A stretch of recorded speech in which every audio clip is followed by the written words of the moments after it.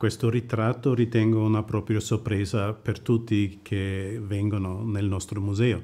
Trovare un ritratto di Claudio Monteverdi nella collezione a Innsbruck.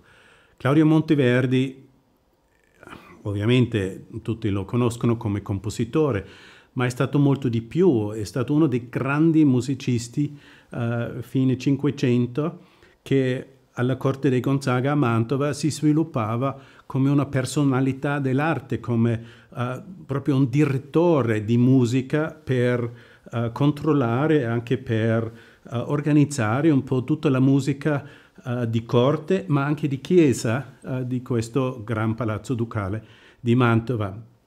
Ha avuto un successore a livello europeo con la sua opera L'Orfeo, che anche oggi si, di tanto in tanto è visibile, ma Monteverdi faceva molto di più nella musica, quindi il suo modo di uh, mettere insieme, di organizzare le diverse voci sembra quasi una sorta di quadrofinia, per così dire, e poi questo cambiamento fra uh, musica sacra e musica, per così dire, di corte profana è anche affascinante. Questo ritratto colpisce il visitatore subito attraverso gli occhi dell'artista.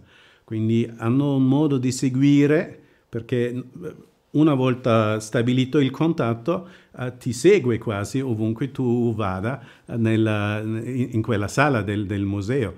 E poi è tutto concentrato alla sua faccia e alle sue mani che hanno in mano qualche uh, esempio del suo lavoro.